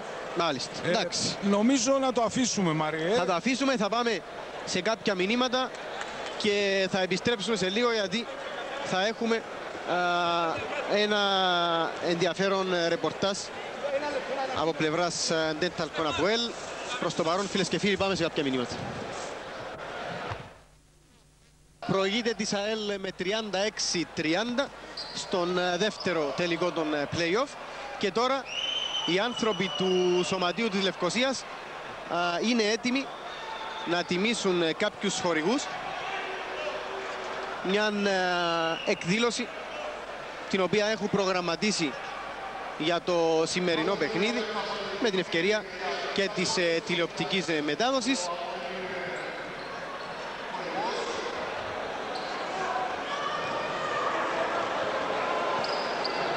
και δεν ξέρω αν ε, μπορούμε να έχουμε ε, εικόνα Πέτρο Παπαγιώργη, ε, έχουν αρχίσει οι τιμητικές διακρίσεις και μπορείς και εσύ να κάνεις τα ρεπορτάζ σου. Ναι, θα μιλήσουμε με τον κύριο Στέλιο Κωνσταντίνου, διευθυντή της Delcon, της εταιρείας Delcon, η οποία είναι ο βασικός χορηγός της ομάδας του ΑΠΟΕΛ. Ε, κύριε Κωνσταντίνου, ε, πήρατε την πλακέτα από το σωματείο, ε, το οποίο χορηγείτε. Ε, ήθελα έτσι τις δικές σας εκτιμήσεις, τα δικά σας συναισθήματα. Ε, η εταιρεία μας ε, για πολλά χρόνια τώρα μέσα στα πλαίσια της στήριξης του αθλητισμού ε, προσπαθεί να κάνει ό,τι είναι δυνατόν ε, στον τομέα τούτο. Ε, ακριβώς σε αυτά τα πλαίσια τα τελευταία χρόνια χορηγεί το ΑΠΟΕΛ στον τομέα του μπάσκετ, του βόλεϊ και άλλων αθλημάτων. Ε, και είστε ικανοποιημένοι με την φετινή πορεία, υποθέτω, έτσι; Ε, θα μπορούσε να ήταν πιο καλά. Πάντως είστε μέσα στο πρωτάθλημα ακόμη. Είχε, υπάρχει ένα παιχνίδι σήμερα. Ε, το Απόελ το παλεύει και με καλές πιθανότητες να το κερδίσει. Ε, ελπίζω να συνεχίσει έναν καλό παιχνίδι και ο καλύτερος θα κερδίσει παρόλο που εύχομαι ο καλύτερος να είναι το ΑΠΟΕΛ. Ευχαριστούμε. Παρακαλώ. Αυτά λοιπόν από τον χορηγό της ομάδας. Ε, μέχρι να έχεις τον επόμενο Πέτρο, τα πιο καλά που θα μπορούσαν ε, να ήταν τα πράγματα θα ήταν ή το πλεονέκτημα έδρας στους τελικούς των play-off ή η κατάκτηση του κυπέλου. Ε, η κατάκτηση του κυπέλου, η οποία ένα τρόπαιο που πήγε στην ε, ομάδα του κεραυνού Cyprus College. Συνεχίζονται οι, οι απονομές τους ε, διάφορους χορηγούς του ΑΠΟΕΛ. Στο τέλος αυτόν, Πέτρο, θα πάρουμε μια κουβέντα και από τον πρόεδρο της ομάδας, τον ε, Γιάννο τον Ιωάννου. Ε, η ομάδα του ΑΠΟΕΛ που όπως και άλλες ομάδες μας σε ζωντανή μετάδοση είχαμε α, μεταφέρει κάτι παρόμοιο και από πλευράς της ε, Χασάπης Ομόνια της Χασάπης Ομόνιας στην ε, φετινή περίοδο. Εδώ τιμητική διάκριση στον πρώην πρόεδρο του ΑΠΟΕΛ ο οποίος καταχειροκροτείται τον κύριο Ντίνο Φισεντζίδη για την ε, μεγάλη προσφορά του στο άθλημα της καλόσφαιρας και βεβαίως στο σωματείο του ΑΠΟΕΛ και σίγουρα θα πάρουμε μια κουβέντα Πέτρο από τον ε, αγαπητό και καλό μας φίλο πάντα πρόθυμο να μας μιλήσει Ντίνο Φιζεντζίδη και παγιά μεγάλη δόξα του Κυπριακού Μπάσκετ σας ακούμε. Λοιπόν κύριε Φιζεντζίδη, από τον, από τον καιρό που θυμάμαι τον εαυτό μου έτσι πιτσιρικά θυμάμαι τον κύριο Φιζεντζίδη στα γήπεδα του μπάσκετ ε, και όχι μόνο σε παιχνίδια του ΑΠΟΕΛ. Ε, σήμερα πήρατε αυτό το αναμνηστικό. Έτσι ήθελα έτσι, τις εκτιμήσεις σας, τα συναισθήματα σας και τις προεκτάσεις ε, αυτής της απονομής. Καταρχήν να ευχαριστήσω τον Πρόεδρο και το Διοικητικό Συμβούλιο του ΑΠΟΕΛ. Για μένα ήταν μια πολύ μεγάλη έκπληξη σήμερα. Ε, νομίζω δεν μπορεί να υπάρξει κάτι πιο τιμητικό για έναν άνθρωπο που έχει αφιερώσει πραγματικά σχεδόν τη ζωή του για το άθλημα. Είμαι αποελίστας, αγαπώ το μπάσκετ και θα είμαι πάντα κοντά στο ΑΠΟΕΛ. Την ομάδα πώς τη βλέπετε σήμερα; Πιστεύω ότι έχεις τι δυνατότητες να κερδίσεις πιο εύκολα από ό,τι δείχνει το, το αποτέλεσμα στο πρώτο ημίχρονο. Και να πάτε στη Λεμεσό μετά για τη μεγάλη μάχη. Τελικό για να πάρουμε το παιχνίδι εκεί και να ξανάρθουμε στη Λευκοσία. Ευχαριστούμε πολύ. Και εγώ ευχαριστώ. Αυτά από τον κύριο Φιστεντζίδη. Ε, και είναι δίπλα σου Πέτρο από ό,τι βλέπω και ο Νίν, πρόεδρος, ο κύριος ε, Γιάννος Ιωάννου, ε, για μια κουβέντα για το τι είδαμε και αναφορικά με, τους, ε, με τις ε, τις τιμητικές διακρίσεις χορηγούς. Λοιπόν κύριε Ιωάννου, κάνατε έτσι ένα τελετουργικό σεμνό και λιτό. Έτσι θέλαμε το σκεφτικό σας για αυτή την απόφαση. Ε, απλώς ε, θα θέλαμε να ευχαριστήσουμε τις χορηγούς εταιρείες ε, οι οποίες στηρίζουν την προσπάθεια της καθοσφαιρική μας ομάδας και κακά τα ψέματα από τη στιγμή που τα σωματεία δεν έχουν πολλά έσοδα χωρίς την παρουσία των χορηγών, δεν θα μπορούσαμε να δημιουργήσουμε αυτήν την ανταγωνιστική ομάδα και για μας ήταν το ελάχιστο που μπορούσαμε να κάνουμε. Και με αυτή την ευκαιρία τιμήσαμε και τον Ντίνον τον Φιζεντζίδη, έναν άνθρωπο που ε, ανάλωσε όλη τη ζωή του στα καλασφαιρικό ΑΠΟΕΛ, είτε σαν καλασφαιριστής και αρχηγός της ομάδας για αρκετά χρόνια, είτε σαν πρόεδρος και τώρα σαν εξωδικητικό παράγοντας.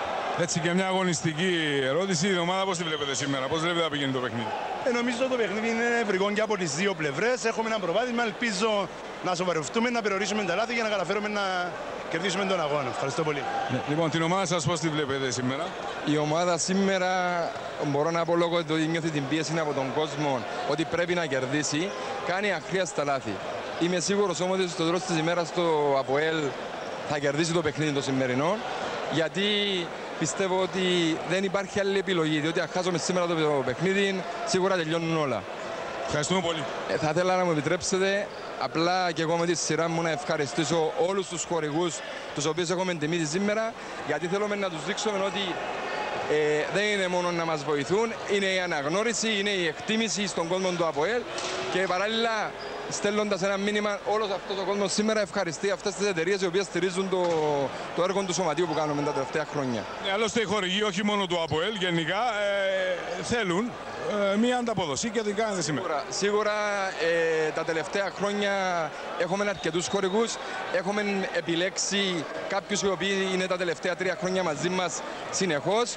Ε, θα ακολουθήσουν και σίγουρα άλλες βραβεύσεις σε άλλες εκδηλώσεις. Να είναι σίγουροι όλοι οι χορηγοί μας ότι δεν θα τους αφήσουμε ε, στο περιθώριο. Όλοι θα τους βγάλουμε στην επιφάνεια γιατί είναι υποχρέωση μας το χρωστάω κόσμο στο ΑΠΟΕΛ, το χρωστάω κόσμο του Σωματείου.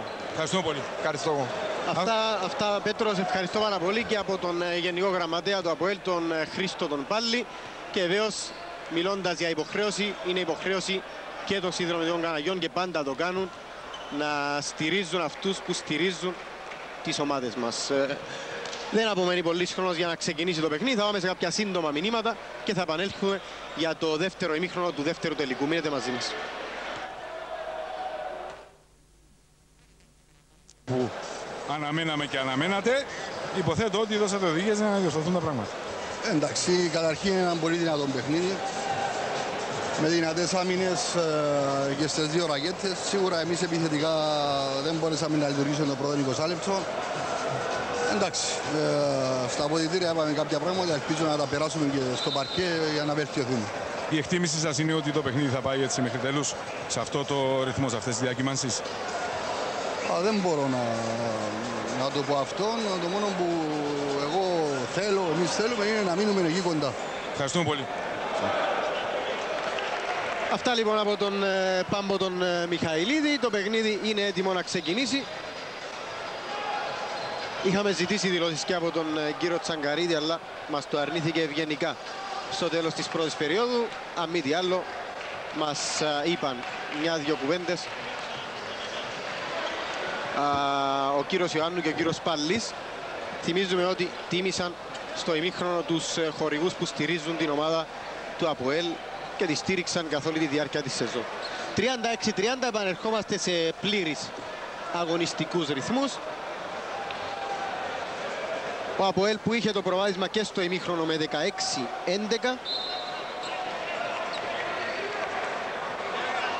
Και για να δούμε αν θα καταφέρει με το τέλος του αγώνα να φέρει την σειρά στο 1-1. Ξεκίνησε το δεύτερο ημίχρονο.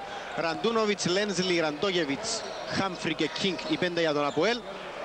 Άλεξιτς, Χλεποβίτσκι, Κίνγκ, Ράντολ και Ρόπερτς για την ΑΕΛ. Η πρώτη επίθεση του Αποέλ δεν απέφερε κάτι, έφερε ένα λάθος και ευκαιρία για την ΑΕΛ να μειώσει με τον Μάικ Κίνγκ να οργανώνει αυτή την επίθεση. Ο Μάικ Κίνγκ που ξεκινά το δεύτερο εμίχρονο στη θέση 1 και μένει στον πάγκο ο Μιχάλης Κουνούνης. Φράνκι Κίνγκ πήρε θέση ο Χάμφρι, double team το οποίο δεν βγήκε στην ΑΕΛ αφού έμεινε ελεύθερος ο Αλεξάνδαρ Ραντόγεβιτς και επαγγελματικό φαουλ από τον ε, Μίχαλ Χλεμποβίτσκι που δεν είχε άλλη επιλογή εκεί για να σταματήσει τον ε, πύργο των ε, γαλαζοκυτρίνων. Αλεξάνδαρ Ραντόγεβιτς με 10 πόντους στο πρώτο ημίχρονο δεν θα φτάσει στους 11 έχει Δύο στις τρεις βολές, αυτή ήταν η πρώτη άστοχη, τέσσερα στα 7 δίποντα. Έχει δύο assist, έχει και πέντε rebound, τώρα θα φτάσει στους 11 πόντους. Ο άσος του Ντέταλκον Αποέλ, 37-30. Ο Αποέλ στο συν 7, θυμίζουμε ότι η διαφορά είχε πάει σε κάποιο σημείο και στους 11. Εδώ ο Ραντούνοβιτς θα καρφώσει εντυπωσιακά. Εξαιρετικό καλάθι από τον Μπάλτσα Ραντούνοβιτς. Είναι απρόσεκτος ο Κλεποβίτσκι. Τον έψαχνε ο Άλεξιτς για να του δώσει την μπάλα. Δεν τον είδε και ήρθε από μακριά ο Κίνγκ. 39-30. Ο Αποέλστος είναι 9. Ρόμπερτς. Υπέροχο το κόψιμο από τον Ραντόγεβιτς. Έχει βγάλει άμυνες ο Αποέλ σε αυτό το ξεκίνημα του δεύτερου ημιχρόνου. Και αυτές οι άμυνες έχουν βάλει στο παιχνίδι και τον κόσμο του. Κλεποβίτσκι σου τριών πόντων ελεύθερος και είναι έστοχος. Μίχαλ Χρεμποβίτσκι φτάνει στους 8 πόντους με 2 στα 6 τρίποντα. 39, 33, 8 και 20 για το τέλος της τρεις περίοδου. Χάμφρι στο στον uh, Ραντούνοβιτς, με συγχωρείτε. Ξανά ο Αμερικανός δεν θα καταφέρει επιθετικό ριμπάουν από τον Ραντόγεβιτς που κάνει ένα από τα καλύτερα του παιχνίδια και τον βλέπετε πώς αντιδρά. και αντίθετα συναισθήματα στον πάγκο της ΑΕΛ. 41-33 από τον Αλεξάνδρ Ραντόγεβιτς, ο οποίος θα πάει στην ε, γραμμή για να βάλει άλλον ένα πόντο. Ναι, Πέτρο. Συνεχώς του σέντερ ο Μικλινέξ και δεν βρίσκει αντίδοτο στο μαρκάρισμα του Ραντόγεβιτς. Παίρνουν και ρίσκο οι παίχτες της ΑΕΛ, ε, κάνοντας double team στον ε, Χάμφρι και τώρα χάθηκε και το αμυντικό rebound η μπάλα είναι για τον Αποέλ. Το σκορ στο 41-33. Φράνκι Κίνγκ του τριών πόντων άστοχος. Νέο επιθετικό rebound από τον Χάμφρι αυτή την φορά. Για να δούμε τα rebound είναι 14 για την ΑΕΛ, 20 για τον Αποέλ. 7 από τα οποία επιθετικά. Ραντόγεβιτς δεν θα καταφέρει επιθετικό rebound και follow από τον Ράιαν Χάφρι και η διαφορά ξανά σε διψήφιο αριθμό πόντων για τον Αποέλ με τα επιθετικά rebound να είναι αυτή τη στιγμή το κύριο χαρακτηριστικό του παιχνιδιού των γαλαζοκυτρίων της Λευκοσίας στο δεύτερο ημίχρονο. 43-35 ένας εναντίον όλων. Ο Μιλουτίν Άλεξιτς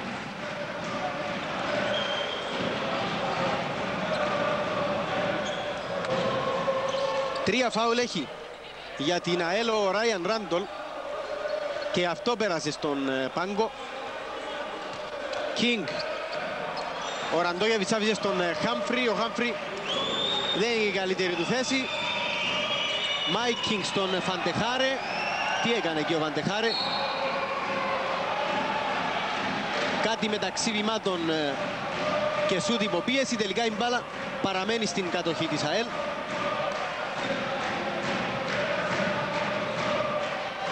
6 και 59 για το τέλος της τρίτης περίοδου. Ελευθερώθηκε ο Κίνγκ και βάζει σου τριών πόντων.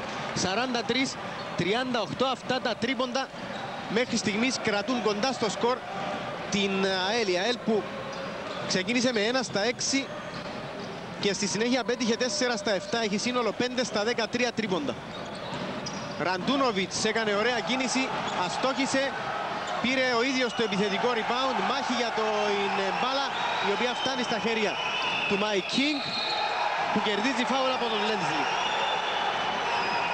Φάουλ που καταλογίζει ο Λυσίος Χριστοδούλου και είναι στον...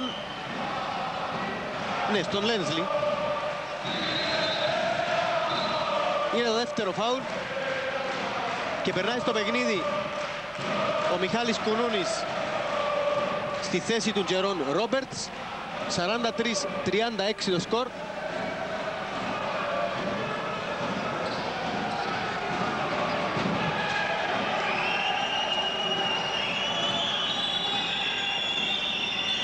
Ναι, είναι 43-38.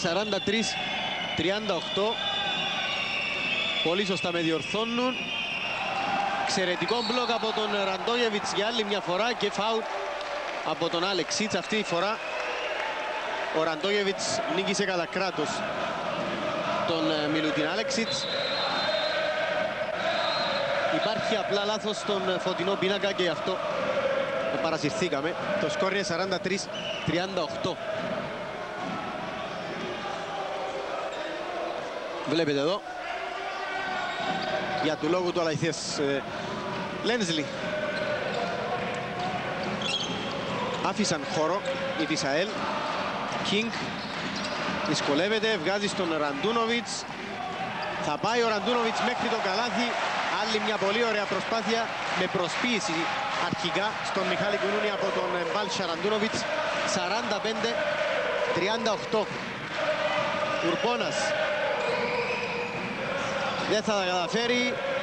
Δεν είναι και ο καλύτερος στο τέγγιμα των φάσεων ο Ζητρούνας Ουρμπόνας. Ευνηδιασμός για τον Αποέλ με τον Κίνγκ να μην τον τελειώνει, να προτιμά να πάει σε οργανωμένη επίδεση. Χάμφρι απέναντι στο Φαντεχάρε, για να δούμε αυτή τη φάση. Ο Ολλανδός δεν μπορεί να τον ε, σταματήσει παρά μόνο με φάουλ. Φάουλ στο πρώτο παιχνίδι. Αυτή τη στιγμή είναι παροπλισμένος στον ε, Πάγκο. Ο Φαντεχάρε καλείται να βγάλει τα κάστρα από τη φωτιά κάτω από το καλάθι εκεί που μέχρι στιγμής υπερέχει κατά κράτος ο Αλεξάνδρ Ραντόγεβιτς για την ομάδα του ΑΠΟΕΛ. Ξανάρχισε το παιχνίδι, 46-38. Ο Ουρμόνας κάνει φάουλ. Και είναι το δεύτερο για τον ε, Λιθουανό forward.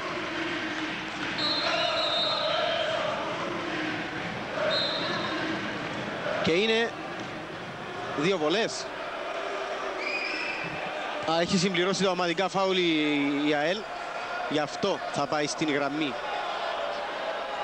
ο Ράιαν Χάμφρι με μία στις τέσσερις μέχρι στιγμής απόψε.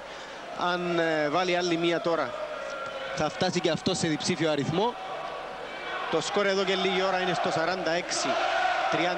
μία στις 5 για τον ε, Χάμφρι.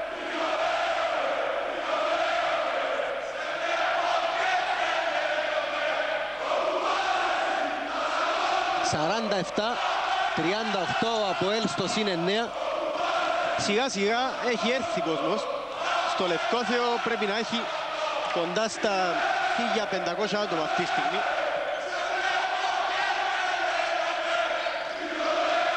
Νέο λάθος από πλευρά ΑΕΛ. Έκλεψαν οι γηπεδούχοι, ευνηδιασμός. Πάρα πολύ καλός, καλάθι φάουλ από τον Μάικολ Λένσλι. Ο Φάντε Χάρε κάνει το τρίτο του φάουλ. Ο Αποέλ στο συν 11 και αν βάλει την βολή ο Μάικολ Λένσλι αυτή θα είναι η μεγαλύτερη διαφορά για τους γαλαζοκίτρινους τους οποίους τώρα σπρώχνει και ο κόσμος τους. Ο Λένσλι είναι εύστοχος στην ε, βολή 50-38 με τον Αποέλ να κάνει επιμέρους σκορ στην τρίτη περίοδο 14-8 μέχρι στιγμής. Άλεξιτς. Παραλίγο να κλέψει ξανά ο Λένσλι, ο Άλεξιτς πήγε να τα κάνει όλα. Μόνος έκλεψαν οι γηπεδούχοι, Φράκη Κίνγκ 52-38 και αναγκαστικά θα ζητήσει νέο time out ο Ίκορ Μικλίνιεξ με την διαφορά στο συν 14 για τους ε, γηπεδούχους. Φίλες και φίλοι, μείνετε μαζί μας.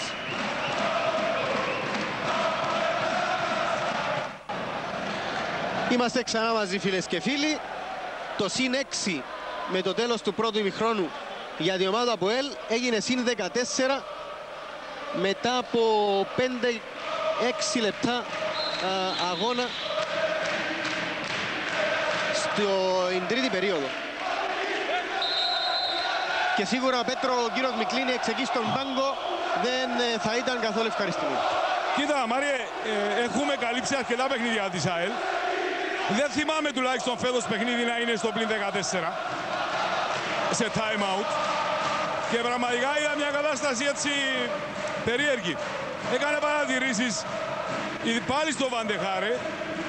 Έδωσε οδηγίες στον Ρόμπερτς να, να παίρνει πρωτοβουλίες.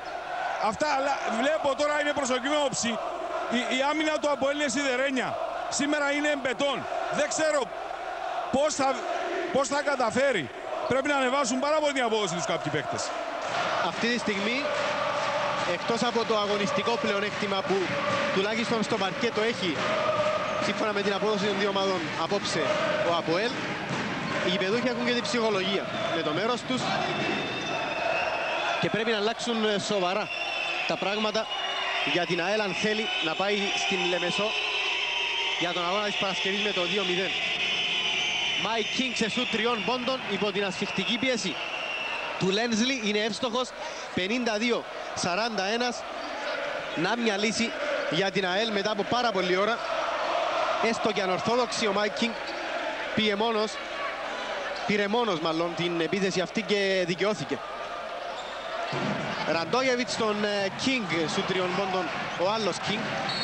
Επιθετικό rebound από τον Λένσλι τα επιθετικά rebound και είναι απόψε την ΑΕΛ. Το φάουλ από τον Μάικ Κίνγκ και δύο βολές για τον Μάικολ Λένσλι. 52-41, 3 και 40 για το τέλος της τρίτης περιόδου.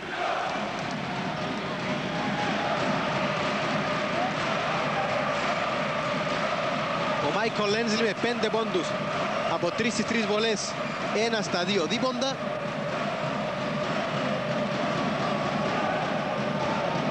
7 πόντους για τον Αμερικανό στο πρώτο παιχνίδι. Στον πρώτο τελικό. Με αυτό το καλάθι θα φτάσει στους 6 ε, με αυτή την βολή και τώρα στους 7. 54-41 από ελ στο συν 13. 3 και 35 για να φτάσουμε στο τέλος της ε, τρίτης περίοδου. Κουνούνης. Τον έκλεισαν εκεί παίχτες του Αποέλ. Ρόμπερτ σου τριών πόντων. Άστοχος.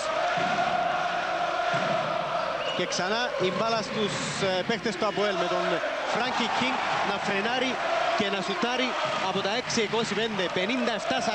57-41 η Πλάστιγκα έχει αρχίσει να γέρνει υπέρ του Αποέλ με τον Φράνκι Κίνγκ να φτάνει με αυτό το καλάθι στους 9 πόντους. Πρώτο τρίποντο για τον Αμερικανό. Ένα στα 6 βγαίνει και η άμυνα από τον Χάμφρι πάνω στον ε, Ουρμπόνας. Ραντούνοβιτς θα πάει σε κοντρόλ επίθεση. Η ομάδα του ΑΠΟΕΛ δεν παρασύρθηκε εδώ από τον ρυθμό και τον ενθουσιασμό. Ο Μπάλσσα Ραντούνοβιτς ε, τώρα με ταμπλό αστοχή επιθετικό rebound από τον Ραντόγεβιτς δεύτερη προσπάθεια φάουλ από τον Φαντεχάρε. Αν είναι από αυτό είναι το τέταρτο. Ήσουν πιο κοντά Πέτρο και είναι όντως έχεις δίκιο από τον Βαντεχάρε. Είναι το τέταρτο για τον Ολλανδό. Επιπλέον προβλήματα για την ΑΕΛ. 57-41 και ο Αλεξάνδρ Ραντόγεβιτς θα πάει στην γραμμή για να αυξήσει την διαφορά. Περνάει στο παιχνίδι ο Ράιαν Ράντολ, φεύγει ο Φαντεχάρε και αμέσως θα απαντήσει και ο Ντράκα Ράτσα με την είσοδο, όπως βλέπουμε εδώ μπροστά μας, του Ντάβοριν Νταλιμπάγκιτς μετά τις βολές του Ραντόγεβιτς. Ο Σέρβος είναι εύστοχος, 58-41, 14 πόντι από τον Αλεξάνδρ Ραντόγεβιτς με 4 στις 6 βολές, 5 στις 7 τώρα τα πάει καλά από τη γραμμή σήμερα. Ο πύργος του Αποέλ και τώρα αποσύρεται καταχειροκρατούμενος από τους ε, φίλους της ομάδας του 59-41 στο συν 18 Αποέλ με ένα επιμέρους ε, σκορ 23-11 στην τρίτη περίοδο. Ράντολ Καρφώνη, πάρα πολύ καλή αυτή η επίθεση από πλευρά ΑΕΛ μετά από ώρα. Βλέπουμε μια καλή προσπάθεια από τους ε, φιλοξενούμενους. 59-43. Χάμφρι. Επιθετικό φάουλ από τον ε, Νταλιμπάγκητς. Καταλογίζει ο Αριστοτέλης Χαρισολομού στην διεκδίκηση της θέσης κάτω από το καλάθι.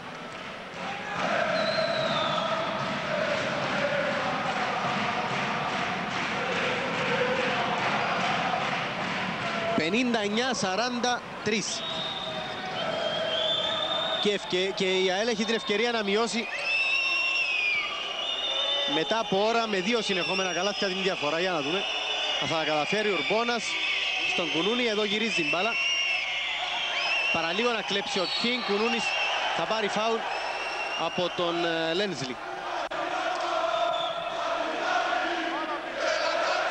Όχι, δεν είναι από τον Λένσλι, το φάουλ είναι από τον Ταλιμπάκιτς.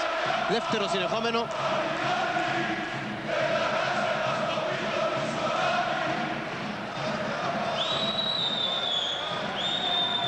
Και ο Μιχάλης Κουνούνης στη γραμμή είναι εύστοχος. Είχε πετύχει τέσσερις πολύ καθοριστικές βολές ο Μιχάλης Κουνούνης στο τελευταίο λεπτό του πρώτου τελικού και αυτές ουσιαστικά είχαν δώσει την νίκη στην ΑΕΛ και το 1-0 59 45 με ένα 4-0 σερί η ΑΕΛ μειώνει στους 14. Νταλιπάκης δυσκολεύεται από τον Ουρμπόνας. Βρήκε όμως τρόπο να περάσει στον Λένσλι. Τελειώνει σιγά σιγά ο χρόνος της επίδεσης του Αποέλ. Νταλιπάκης. Χάμφρι απέναντι στον ε, Ράντολ με ταμπλό εύστοχος ο Αμερικανός και αλλαγή για την ΑΕΛ. Περνάει στο παιχνίδι ξανά ο Μιλουτίν Αλεξίτς. Φεύγει ο Μάικ Κίνγκ, κάπως απογοητευμένος από την αλλαγή του. Περνάει στο παιχνίδι και ο Άντρια Τσίριτς στη θέση του Μπάλτσα Ραντούνοβιτς για τον Αποέλ. 61-45 σταθερά το προβάδισμα σε διψήφιο αριθμό για τους γηπεδούχους.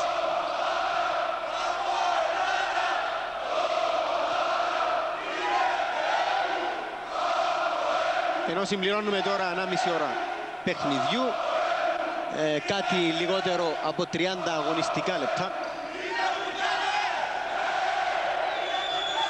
Η μπάλα είναι για το Αποέλ λέει ο Αριστοτέλης Χαρισολομού.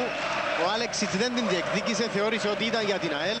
Νέο λάθος από πλευράς ε, φιλοξενουμένων οι οποίοι έχουν φτάσει τα 14 9 λάθη έχει η ομάδα του Αποέλ Κλέβει εδώ ο Μιχάλης ο Κουρούνης, ε, πονηρός. Δεν μπορεί να πετύχει το καλάθι.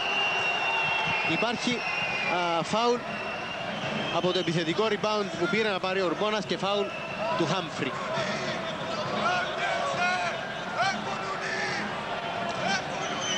Η μπάλα είναι από πλάγια αφού ήταν το τέταρτο ομαδικό φάουλ της ομάδας του Αποέλ.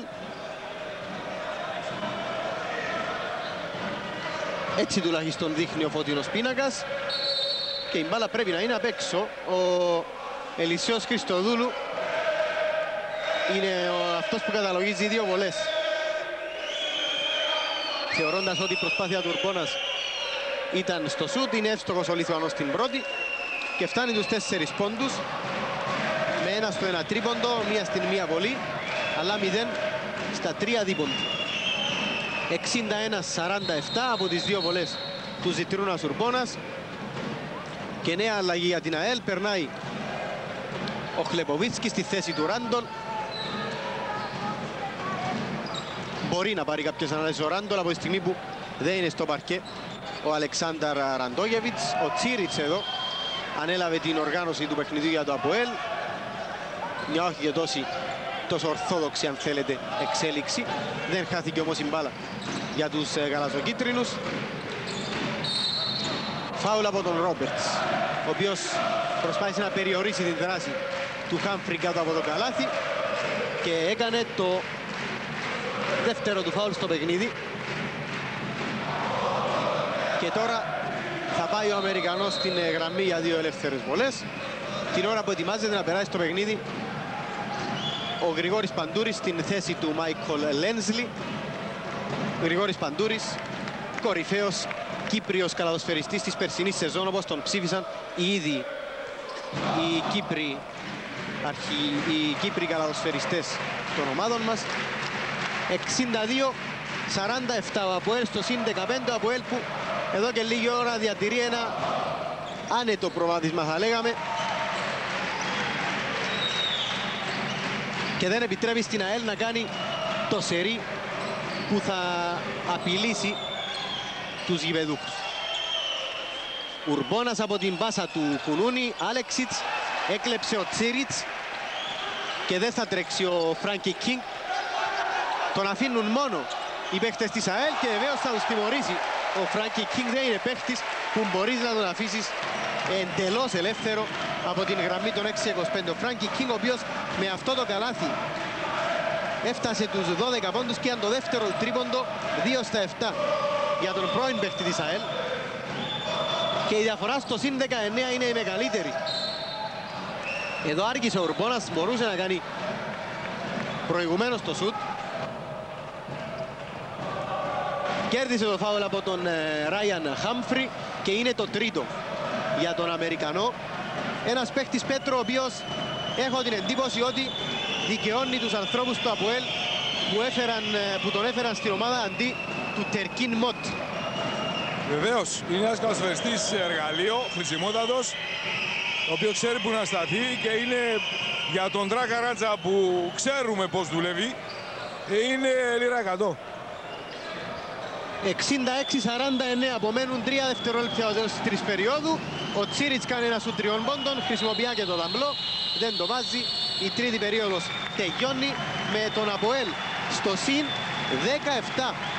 66-49 ο Αποέλ που είναι βεβαίως το μεγάλο φαβορή για να πάρει την νίκη και να ισοφαρίσει την σειρά σε 1-1 έκανε η ομάδα της Λευκοσίας ένα σερί 30-19 στην τρίτη περίοδο 30 πόντι είναι πάρα πολύ για μια άμυνα σαν αυτή της ΑΕΛ και σίγουρα ο Ίγκορ Μικλίνεξ δεν μπορεί να είναι ευχαριστημένος. Μείνετε μαζί μας φίλες και φίλοι, θα επανέλθουμε σε λίγο για την ε, τελευταία περίοδο. Dental con Apoel 66 DTL, EKL 49.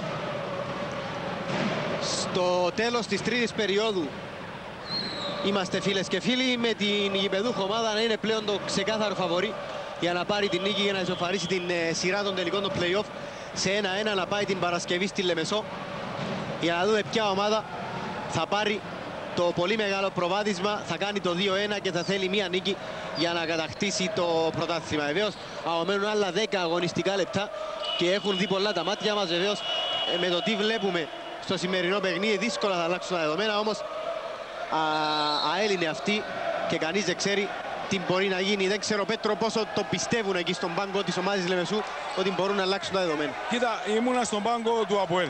Μάλιστα. Στον Τράγκα Ρατζά έδωσε οδηγίες στο King για οργάνωση του παιχνιδιού να βλέπει ανάλογα Ραντόγεβιτς ή Τσιρίτς και τους είπε πώς να μαρκάρουν ε, τον Κουνούνι στις ε, επελάσεις του είτε στην οργάνωση είτε όταν φτάνει κάτω από το καλάθι την ώρα που είναι έτοιμος για το σούτ. Τον ξέρει πολύ καλά Μάριε, άρα έδωσε λεπτομερέστατες οδηγίες.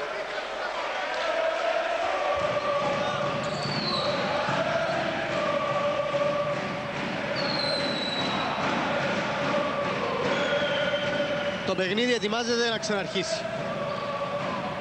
Με τον ε, Μιλουτίν Άλεξης να επαναφέρει για τον ε,